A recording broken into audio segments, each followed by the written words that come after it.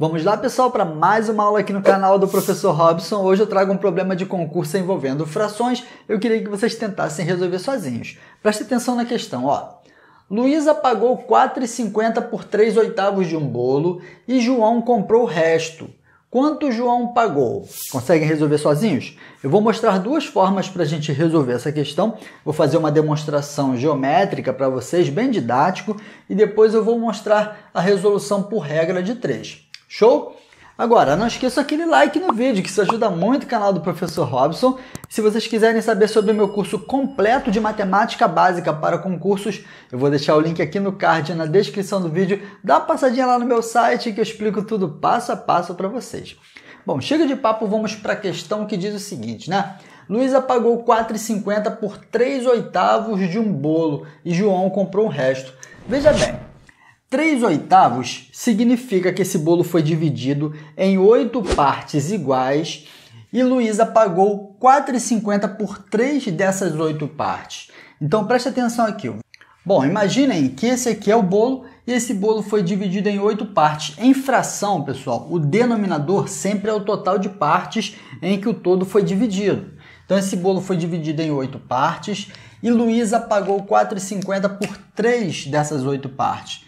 Então, Luísa pagou aqui, ó, 4,50 por 3 oitavos. Ela pagou 4,50 por 3 dessas partes. Se ela pagou 4,50 por 3 dessas partes, o que, que a gente conclui? Dividindo 4,50 por 3 dá 1,50, não é isso? Então, cada uma dessas partes aqui ó, é R$ 1,50. Veja bem, Bom, como a questão diz que João comprou o resto, então João comprou essas outras cinco partes aqui que restou. Quanto João pagou por essas cinco partes? Então João aqui, ó, ele comprou essas cinco partes. Se cada uma dessas partes é 1,50, vamos multiplicar. 1, 2, 3, 4, 5. 5 vezes R$ 1,50, isso é igual a R$ 7,50. Então João pagou por essas cinco partes, R$ 7,50. Resposta correta, letra D. Professor, tem outras formas de resolver? Tem. Vou mostrar para vocês por regra de três. Veja bem, ó. Eu tenho aqui o valor do, de cada parte do bolo em reais, né? E o pedaço. Tá? Os pedaços que foram comprados. Olha só. Luísa pagou R$ 4,50. Aqui, ó. R$ 4,50 por 3 oitavos de um bolo. Então ela pagou 4,50 por 3 partes de um total de 8.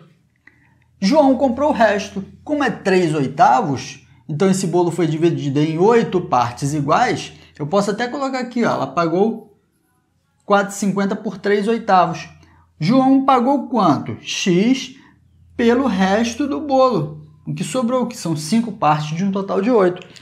Como os denominadores são iguais, né? então ela pagou 4,50 por três partes e João pagou quanto por cinco partes? Podemos simplificar os denominadores, são iguais, multiplicando cruzado aqui, ó, vai ficar o seguinte, ó, 3 vezes x, 3x, isso é igual 4,50 vezes 5, podemos até resolver aqui, ó, 4,50 vezes 5, ó, 5 vezes 5, 25, sobe 2. 5 vezes 4, 20 com, 20, com 2 que subiu, 22.